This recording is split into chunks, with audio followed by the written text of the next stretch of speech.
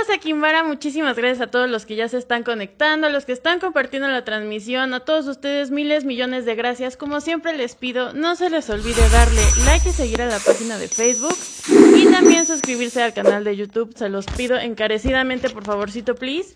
Y el día de hoy tenemos nuestra primera entrevista desde la pandemia que no es en línea, que ya me hacía mucha falta porque por internet no me sabe y yo creo que ustedes tampoco.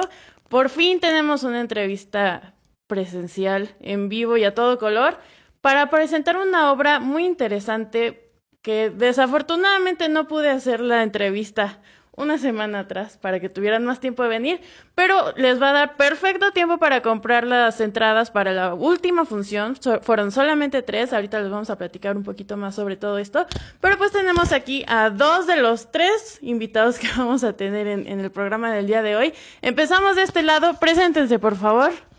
Carlos Arturo Aguilar, mucho gusto. Tú, ah, espérate, ¿tú qué haces aquí o qué? Yo aquí soy el director de la obra de teatro. Perfecto. Muy bien. Yo soy Ángel Madrigal, soy actor de la obra, del montaje. Es un... Nada más son dos, ¿no? Dos actores. Así es. Sí, solo estamos eh, el primer actor Pedro Sicar y yo, ahorita haciendo ahí mis, mis pininos. Ay, no creo que tan pininos. Pero a ver, esta obra se llama El Juego Siniestro. Así es. ¿Qué onda con esta obra? Es una obra muy interesante, es una adaptación de, un guion de cine que se llama Sleut y la dramaturgia es de Aida Andrade y bueno, la verdad es que es un texto fascinante, es, habla acerca del amor, del poder y del deseo. Entonces está bien interesante, son dos personajes que se encuentran eh, con una diferencia abismal en todas sus características y bueno, pues resulta que comparten o compartieron en algún momento a la misma mujer. Entonces, de entrada, esa es la nuestra primera premisa. So fast.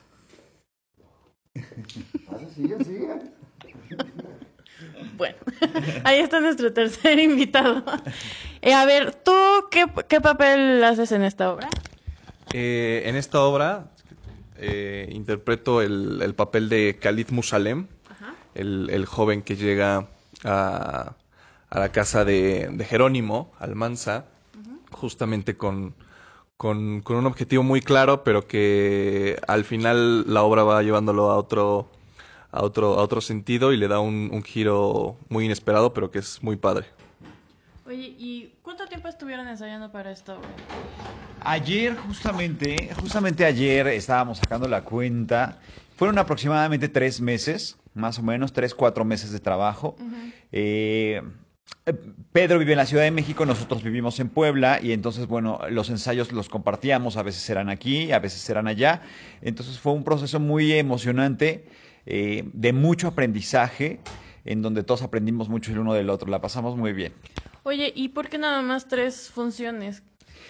En realidad lo que sucede es que ahora comienza, como todas las fiestas eh, decembrinas y todo esto, pero bueno, la idea es dar ahora mismo tres funciones y la, eh, o sea, el proyecto está planeado para que el próximo año se retome, ya sea aquí o en la Ciudad de México, pero ya eh, será plan del 2022. Digamos que ahorita, ahora mismo quisimos hacer tres funciones antes de que acabara el año para eh, amarrar y para que ya pudiéramos estrenar, porque también teníamos muchas ganas de eso.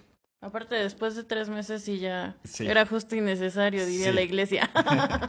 Oye, y este, aquí en la tocinería, tú tienes, bueno, creo que ya fue la última función, pero tienes un proyecto con Turis Teatro. Así es. De Teatro Buffet. Así es. Cuéntame un poquito de eso.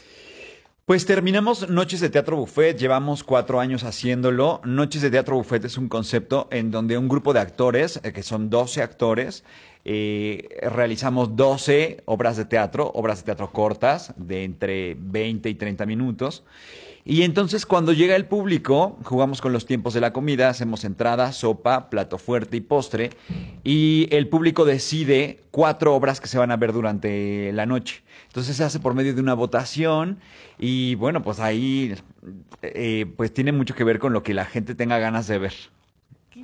O sea que tienen que estar así pendientes de lo que este y entonces te cambias en y... Sí, pues eh, eh, realmente traemos los vestuarios para todas las obras, la utilería para todas las obras y nosotros venimos de verdad listos para que se presente la que sea.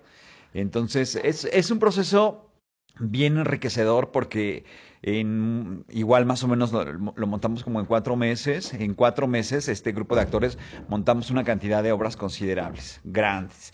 Eh, entonces, bueno, pues la verdad es que salimos con mucho aprendizaje. La gente se divierte mucho, lo ha tomado muy bien y estamos muy satisfechos.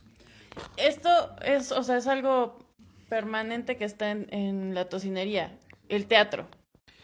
Pues ahora mismo eh, Jesús Manuel Hernández, que es el, dueño de la tocinería, nos ha hecho el favor de, recibirnos aquí y sí tratamos de que todo el tiempo tengamos activo algo. Ahora con la pandemia, bueno, pues fue como incierto, regresamos a inicios de este año, ¿verdad? bueno, no, como, no, como por abril, marzo, mayo. Mayo. Por mayo regresamos y en algún momento tuvimos que detener porque la gente se de pronto cuando la gente se, espanta y ya no quiere salir, pues nosotros tenemos también que detener porque dejan de venir.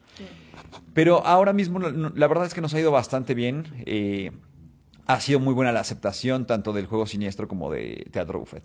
¿Tú estás también en Teatro Buffet? Sí, sí estuve. Yo, yo me incorporé a, la temporada de Noches de Teatro Buffet en la tercera temporada. esta, es, esta fue la quinta. Entonces ya llevo tres temporadas con, con Carlos y con el proyecto. Estás bien escuincle, ¿no?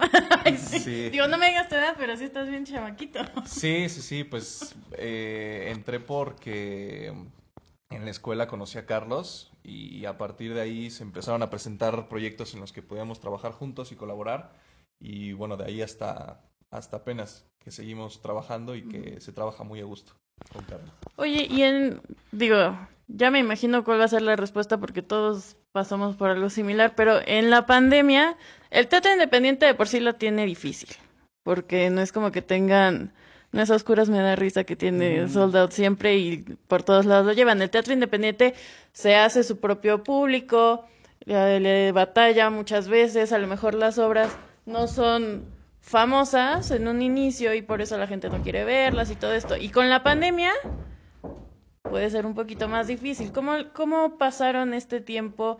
No nada más es su trabajo, sino es su forma de vida. Claro. ¿Cómo les afectó la pandemia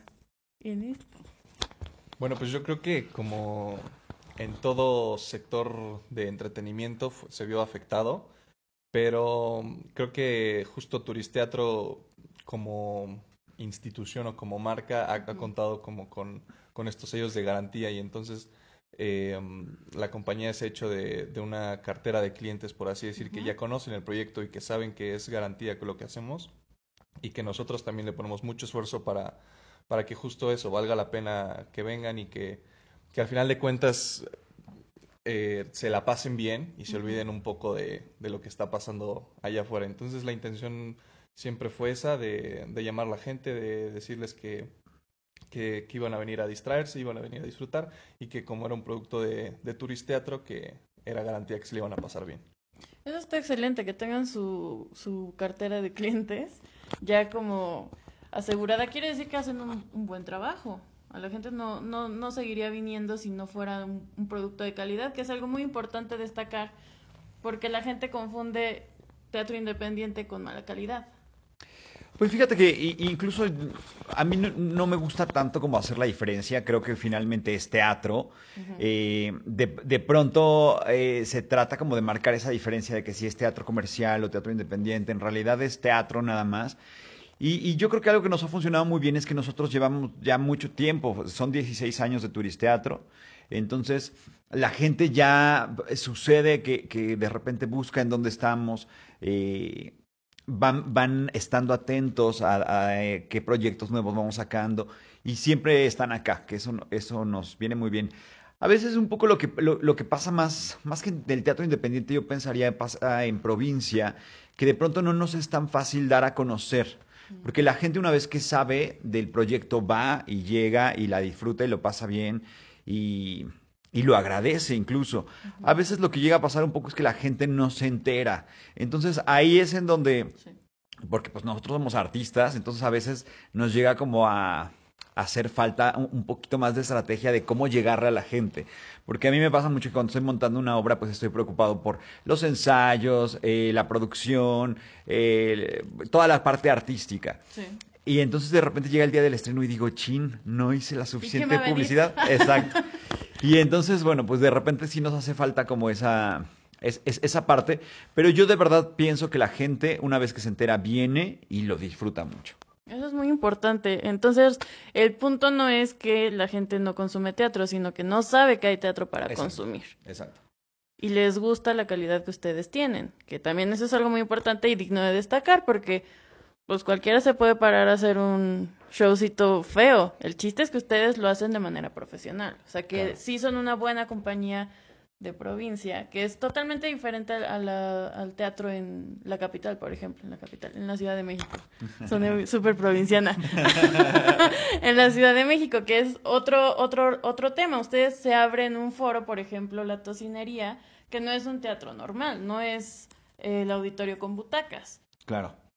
No, no has estado siempre aquí. ¿Dónde más presentan teatro ustedes? Pues mira, nosotros tenemos un proyecto que tiene que ver con teatro de conciencia. Eh, entonces, eh, hago mucho teatro que tiene que ver con problemas sociales. Entonces, en algún momento dice problema, eh, prevención del embarazo, prevención del suicidio, prevención de la violencia intrafamiliar. Ahorita estamos muy metidos en el tema de la prevención del feminicidio. Entonces, todas esas obras generalmente las llevamos a los lugares, o sea, nosotros las llevamos a donde sea necesario, a las instituciones, a las escuelas, a las universidades. Eh, de Estrellas en el Pavimento, que es una obra de prevención del feminicidio. Hicimos una gira bueno, en realidad fue, fue una gira bastante grande en donde fuimos a prácticamente todas las universidades y fuimos a muchas universidades del interior del estado. Entonces, eh, esas obras como que nosotros las llevamos al lugar indicado. Entonces vamos allá a sus auditorios, a sus escuelas, a lo que sea. Y de acá llevamos ya cuatro años en la tocinería. Esta es eh, como, como nuestra sede, nuestra casa. Eh, y bueno, pues de repente estuvimos en Ciudad de México, ahí estuvimos en el Foro 77, se llama, ¿verdad? En el Foro 77. Entonces vamos a donde, a donde haya oportunidad. Y fíjate que eso que decías es bien interesante.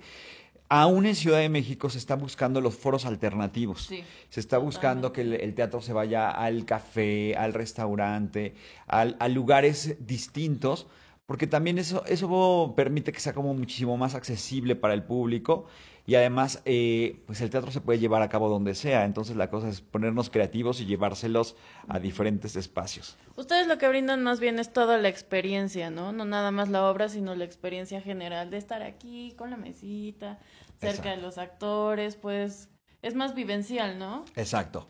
Sí, pues es que la, la, la cuestión es que le agreguemos un plus al teatro y que mientras estés viendo la obra de teatro puedas estar tomando tu cervecita o comer algo. Entonces es, es como salir de la convención eh, concebida o preconcebida del teatro. Y a ver, siento que no te he preguntado mucho a ti. te veo muy callado. Cuéntanos un poquito, sin decirnos obviamente qué onda con la obra, pero platicarle un poquito a la gente que no de qué trato tal vez, pero ¿por qué tienen que venir a verla? ¿Qué van a, qué van a vivir en esta experiencia? Bueno, pues eh, esta obra es toda una montaña rusa de emociones.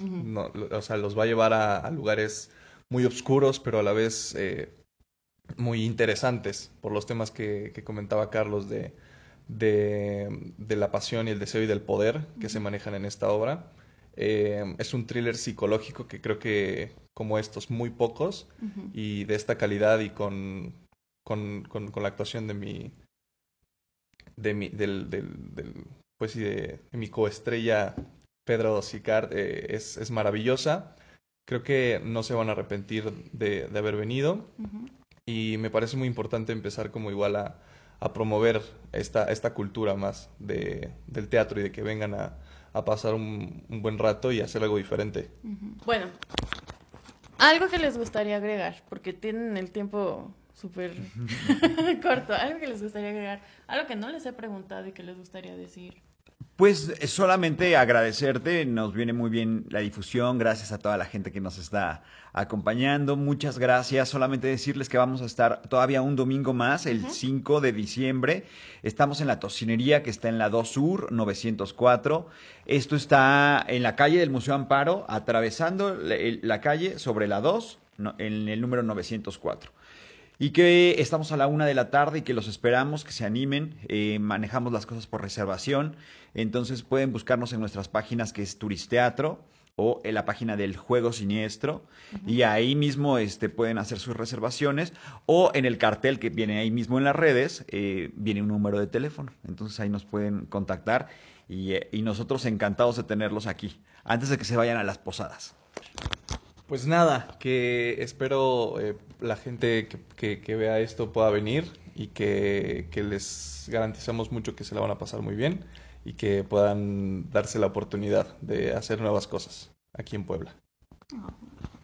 Qué bonito. Sí, dense la oportunidad. Oye, ¿te pones nervioso actuando con acá mi sofá? Eh, claro, digo, de- eh, un actor como la categoría de Pedro es siempre imponente y, y de mucho respeto, pero creo que hemos hecho muy buena mancuerna y creo que nos hemos desenvuelto muy bien tanto en el escenario como, como fuera. Y, y digo, la, la relación ahí está y, y me parece a mí un, un ejemplo a seguir y de que, de que le puedo aprender muchísimas cosas. Seguramente. Pues ya estamos con nuestro tercer invitado del programa del día de hoy. Yo estoy segura que ya saben quién es. Lo reconocen más que a mí y eso que me siguen en mi página. Pedro Sicard, muchísimas gracias. Hola, ¿qué tal? Buenos días, ¿cómo estás? Pues muy bien, muchas gracias por este estos minutos de entrevista que los como les dije, los agarré en curva antes de empezar la función, entonces esto va a ser rápido porque no no nos estamos con juegos. Vamos a, a unos minutos de, Ah, de empezar ahorita la, Ya la tenemos aquí función. a la gente formada y nosotros aquí en plena entrevista. ¿Y qué hacen ustedes que no vienen a vernos? Eh, exactamente, ¿Eh? tienen que venir el 5 de diciembre a la una de la tarde aquí en la tocinería a El Juego Siniestro. Hoy todavía están a tiempo, es a la una, todavía están a tiempo hoy de Eh, llegar. Bueno. tienen que tienen Son 11 que- cuánto, no- todavía no son las Sí. 12, vaya, pueden salir de su casa y venir a, a vernos aquí a la tocinería. visten y llegan, por favor, me, quiero el lleno total. Platícanos un poquito de tu experiencia en esta obra El Juego Siniestro. Oye, pues acá mi director, Carlos Arturo Aguilar, me invitó a participar de este proyecto. Me dio el texto que es de Aida Andrade, me encantó cuando lo leí, es un gran, gran texto. Es una obra que re- realmente es un reto actoral, porque es un gran duelo entre dos actores eh, en dos actos. Es un texto muy difícil. Y entonces eso me, me fascinó, ¿no? Pues entrarle a este reto eh, acompañado de la mano de, de nuestro director y bueno, con un joven eh, talento de acá de Puebla que está muy bien en, en la obra. Los invito a que vengan a, a verlos porque realmente es una obra muy sorpresiva, vaya, porque tiene muchos giros, muchas vueltas eh, inesperadas que no, no te esperas y entonces la gente todo el tiempo está como... Me gustó mucho, por ejemplo, la semana pasada que fue nuestro estreno, ver eh, el público que estaba tan atento, estaba expectante, así como todo el tiempo no, sentías una respiración, nada, y eso está padre, ¿no? Te habla un poco de cómo la obra te va llevando y la gente se clava, ¿no? Dentro de, de la historia. Ahorita, por lo que me comentaba Carlos, estás en grabaciones en el DF. Ajá, sí. Y te vienes los domingos a hacer la presentación de Así esta obra. es, así es. Qué es un- frieguita loca, ¿no? Eh, una friega. Pero aquí estamos, aquí estamos. Así es la vida del Satimbanqui, no te preocupes. ¿Y cómo sientes tú la diferencia? Tú que andas en las altas esferas de, de la actuación, ¿cómo sientes esa diferencia No entre... hay altas esferas, todo es igual. Todo es la sí, la gente a veces menosprecia la provincia. Yo creo que en la provincia hay mucho talento Sí. eh, por ver, por, por explorar, ¿no? Por explotar también. Porque a veces eh, no se pueden subestimar, al contrario, tienen que, que darse el valor que tienen, porque si hay mucho talento. Yo, por ejemplo, eh, admiro mucho el trabajo de Carlos, que lo conocí cuando me invitó a develar una placa de Turisteatro hace ya unos cuantos años, y me fascinó su proyecto. Y yo se lo platico a la gente en- allá en México. Le digo, allá en Puebla hay un grupo que hace esto, que se llama Teatro Buffet, y es como un teatro a la carta, y tú vas y te pasas una noche maravillosa, además en este lugar, que es un lugar histórico, esto que estamos viendo, estas bóvedas, en una antigua tocinería. Entonces, de verdad, disfrutar una obra de teatro en este lugar histórico, en el centro de Puebla, pues vale la pena el viaje, venirse de México Claro. para acá y la friega. Y, y te digo, el, el talento está en todas partes, no es en México ni uno está en las grandes esferas. A veces las grandes esferas no tienen tanto talento. Eh, exactamente, exactamente. Así meramente, sí, sí, sí. Así es, Vanessa, ¿cómo la ves? Pues muy bien, yo lo veo perfecto. A mí, o sea, me, me gusta mucho que sea una obra de tan buena calidad que podamos tener a dos actores de diferentes, eh, ¿cómo decirlo? Backgrounds. Escuelas de diferentes, exacto, características, sí, sí, sí, sí. Y presentar un producto tan bueno, tan único y es que realmente es único poder estar aquí tan cerca de los actores, vivirlo tan... Les decía hace rato, es una experiencia vivencial, puedes estar viendo cómo se están peleando, cómo se va, casi se van a madrear, ay no, a ver qué pasó, y es que, y la tensión, y lo sientes, es, es muy bonito ver el teatro en grande, es muy bonito ver las novelas, es muy bonito ver... Y lo, y lo más importante es que tenemos todas las normas de, de, sanidad ahorita, con todo este proceso de pandemia que estamos viviendo, pues tenemos todo, la toma de temperatura, el gel antibacterial, los baños, un lugar que se le abren las puertas en el intermedio para que entre la ventilación, estar ventilado, con, la distancia que hay que tener. Entonces es un lugar muy seguro para venir y disfrutar una obra de teatro. Eh, eh, este año vamos a hacer nada más tres funciones que han sido tres funciones a especie un poco como de, ir midiéndole el agua a los camotes, ¿no? De ver cómo va funcionando con el público. Ya estaba como madura la obra para poner, pero continuamos temporada el año que viene. Todo el, el 22 vamos a estar dando eh, gira, moviéndonos, este, presentándonos acá en Puebla. Estamos ya gestionando también funciones para presentarnos allá en Ciudad México, para la gente de México que está, que no puede venir a Puebla, pues también nos vamos a presentar allá. Entonces estamos ahí como bien movidos con, con la obra. Eso está excelente, porque así mucha gente no puede hacer el viaje, no tiene tiempo para, para dedicar, eh, viajar, quedarse, todo esto que sí se abra a, más Y me hablan de todas partes de la República, de Tampico. Dice, ay, ven a Tampico, Guadalajara. Ya me escribieron. Y a Guadalajara, ¿cuándo vienes? A Querétaro, esto. Todo el mundo quiere que, llevar la obra. Eso estaría padre, pues organizar con los productores una gira, ¿no? Este, tenemos una, una escenografía que es difícil un poco de, de viajar con ella, pero bueno, se puede. No es tampoco algo que que sea improbable. se llaman películas de Hollywood en la nada, que no se pueda. Todo en esta vida se puede queriendo. Pues sí, ojalá que ustedes eh, puedan venir a ver esta tercera y última función del año, pero van a ver más, ¿verdad?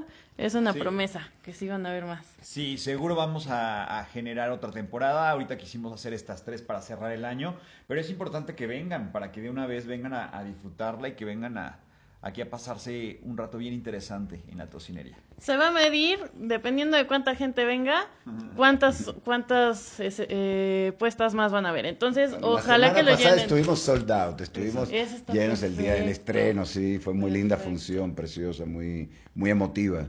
Ay, qué bonito. Esperemos que la de hoy también sea así. Que este, ya está a reventar, yo estoy segura que está a reventar. Y que la próxima, el 5, haya mucha de la gente que está viendo el programa ahorita que vengan, que, que apoyen muchísimo el teatro. Es, eh, yo sé que no tenemos tanta la cultura aquí en México del teatro y especialmente en provincia no hay tanta la cultura de, de apoyar al arte, pero espero que lo, prueben. Una vez que lo prueben, como decías hace rato, lo prueban y se enganchan. Pero en provincia la gente está muy ávida de, arte. Yo cuando me presento en provincia, todo el mundo te dice, qué bueno que vinieron, qué bueno que se está haciendo esto. La gente es muy agradecida cuando ve un hecho artístico. Entonces, a veces lo que hay es mala promoción, mala divulgación. Es lo que pasa a veces con, con el arte, ¿entiendes? Yo acabo de ir a un programa donde no me, no me dejaban decir ni dónde ni a qué hora. Y tú dices, pero ¿cómo? es para promover la cultura de tu lugar, de verdad, como ciudad. deben de, tomar conciencia y apoyarnos, no que no me pongan limitantes y diga, ay, no puedes decir eh, la ah. tocinería, no puedes decir a qué hora, no puedes decir cuánto cobras. No podía decir nada. Digo, bueno, de que vengo de muñecón aquí al programa que me... No, señora, venga a la tocinería que está en 2 Sur, número 904, en el centro histórico de Puebla. Venga acá a vernos, estamos a la una de la tarde y el domingo que viene es el último domingo de este año. Así es. ¿Algo más? no, pero sí, a veces eh, eh, la, divulgación no es la gente. la gente está muy ávida de verlo, pero no hay divulgación. Y si no te quieren cobrar por decir tres palabras, eso no se vale en provincia, ¿entiendes? Tienen que cambiar muchas cosas en provincia. En ningún lado, en ningún lado, porque, o sea, yo entiendo que si son cosas que, que, que no, no son de provecho, órale, pues cobra. Pero el arte y la cultura son de mucho provecho para la sociedad, son indispensables para que tengamos una sociedad creciente, evolutiva, comprensiva, empática, humana. Entonces no pueden, no puede haber ese tipo de bloqueos. Y sí, tienes toda la razón. Muchos, muchos medios no quieren, o sea, te dan como que la, sonrisita y lo bonito y bueno, ahí platícanos de tu ahorita. Pero vámonos al chisme o pendejadas así. A mí eso no me gusta. Espero que. Por sí eso aceptamos estar hoy con Vanessa, que nos ha dejado decir de todo. Ah, sí, aquí, a ver, Pero hay otros medios que yo le dije, "Ay, no vale la pena que yo lo haga si no puedo decir lo que tengo que decir. Vengo a un medio para promocionar una obra de teatro, que es arte, es un hecho artístico. Entonces, no me pongas limitantes de que no pueda decir esto y lo otro. Entonces, muchas gracias de verdad por No, ¿de hacernos esta entrevista. Te- de verdad, te lo agradezco mucho. Ah, no, la, la, la que estoy inmensamente agradecida, infinitamente, por siempre, para siempre, soy yo, porque de verdad, eh, ustedes los que están viendo y que ya son público estimado mío, saben que ese es mi coco de siempre, que siempre hay que estar difundiendo la cultura y las artes, que es indispensable. Y qué bueno que cada vez más espacios quieren este tipo de difusión, porque también muchos se, se, se rehusan a participar en las difusiones precisamente por malas experiencias como esa. Exacto. Entonces sí, hay que romper el, el ciclo y empezamos por romperlo viniendo al, el 5 de diciembre, domingo 5 de diciembre a la 1 de la tarde en la tocinería. ¿Qué, ¿cuál es dos? 2 Sur 904, centro. No me puedo aprender la pinche dirección, pero bueno, lo bueno es que él se la Dos sabe. Sur, a ver, repite conmigo. Dos Dos Sur Sur 904, 104, Colonia Ya Centro. ya me lo aprendí, ahora sí. Se llama La Tocinería y ahí llegó la guapa de Claudia. Pues algo más que quieras agregar. Oye, no, yo creo que está dicho, todos los esperamos por acá, de verdad que nos va a dar mucho gusto que nos visiten en la obra. ¿eh? ¿Tienes redes sociales para que la Sí, gente te eh, arroba Pedro Sicar, En todo, en, en todos lados, arroba Pedro, es muy facilito. Sicar, S-I-C-A-R-D. Ay, yo creo que sí saben cómo se escriben. Nada más faltaba que No, no, no, supieran creas, me es. cambian mucho, ¿Ah, pues, sí? Sicardi, Sicar, me dicen acá mucho. ¿Sicar? Son, me exacto, me ponen una- un acento en la I que no lleva. Acá mira, me dire. ¿Le decía Sicar? Ya hice mis planas. Bueno. Pero bueno, acá los esperamos, acá lo- los esperamos con mucho gusto y nos va a dar mucho placer este, pues actuar para ustedes. Venga. ¿Puedes repetir las redes de Turisteatro, por favor? Claro, estamos en Instagram y en Facebook como Turisteatro y en Facebook estamos como El Juego Siniestro. Perfecto. Sigan todas las páginas y de una vez sigan Kimbara, por favor, se los pido, se los suplico. Denle like y seguir a la página. Suscríbanse. al- Kimbara, kimbara, kimbara, kira, Exacto. kimbamba. Pa' mí, tú no eres nada. Tú tienes la bemba colorada. Precisamente por eso se llama Ah, Kimbara. Qué Ay, qué bonito que alguien sabe. Porque todo. Nadie sabe por dónde Nadie sabe por qué. No, y siempre me. ¿Qué es eso? ¿Qué es eso? ¿Cómo se escribe? ¿Cómo que se escribe? Exactamente. Oye, pues ya me voy a cambiar ya, Ya, este. sí, ahí se acabó la chingada entrevista. Muchísimas gracias. Ah, nos vemos.